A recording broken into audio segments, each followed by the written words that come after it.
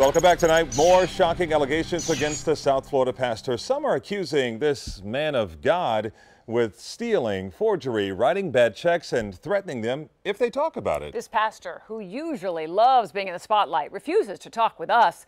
Local 10 News has done several stories on Eric Readon after several people raised questions about his business practices. But Readon claims he's the victim here. Tonight, investigator Jeff Weinsier is back on the case. Anything on that check, something that you wrote? No. No. Lorenzo Johnson says his check was stolen. Is this check forged? Yes, it is. Johnson says it was swiped from his office when he owned a daycare center in Miami back in 2012. The check was stolen from my uh, office uh, by Eric Readon and was written in cash, $9,000. Eric Readon is Pastor Eric Readon of the New Beginning Missionary Baptist Church in Miami Gardens. Are you telling me that Pastor Eric Readon, who preaches to the Lord every Sunday, stole this check from you and forged it? Uh, yes, I, am saying that. Johnson claims when he walked out of the daycare office to attend to a matter, Readon stole the check. How did he get his hands on it? It was sitting on my desk. Johnson did file this police report, but decided not to pursue this case criminally. Instead, he filed a civil suit to get his money back. According to the civil complaint, Readon made the check out to the church, forged the signature, and deposited it. Pastor Readon was ordered by the court to pay Johnson back $9,000 plus interest. Five years went by with absolutely nothing until this year after Lorenzo Johnson put a lien on the church. You got your money back. We got our money back.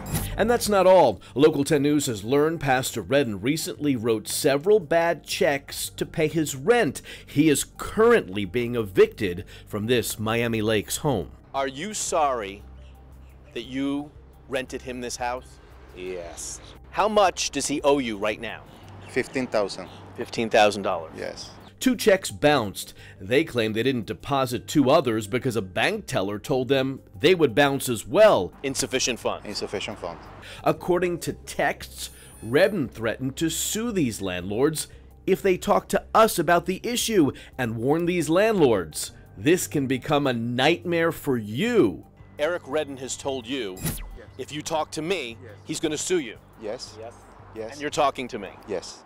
Earlier this year, people who called themselves victims told us they had given Readon deposits to rent homes, buy cars, loaned him cash for church activities, and when things fell through, they couldn't get a refund. Some did get their cash back after our stories ran, and they sued. I promise you, man, you're going to get your house back. This is what he told me.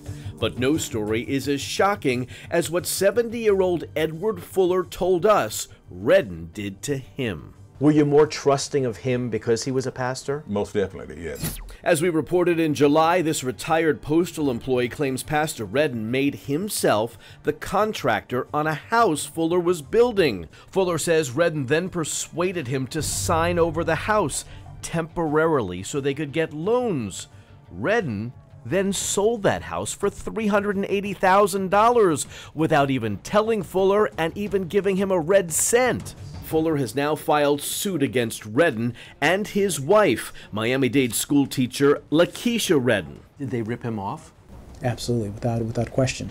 The suit claims Pastor Readon also charged personal expenses on Fuller's credit card? That Geico charge is not your charge. No, sir. That's insurance. But that's that's an insurance for his for his cause. What do these have to do with construction at a house? That's a great question. You were supposed to call me yesterday. Talk to us, Pastor. Readon has refused to answer our questions in the past, and we recently tried again. When we showed up to a church event, we were told Readon wasn't here. He was in Boynton Beach.